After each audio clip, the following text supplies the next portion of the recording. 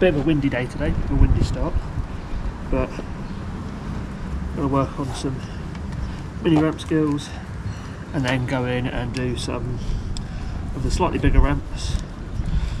Not quite the vert yet, but working towards it.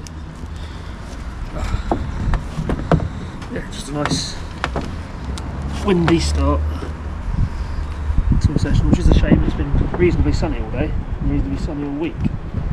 So have to just see how today goes.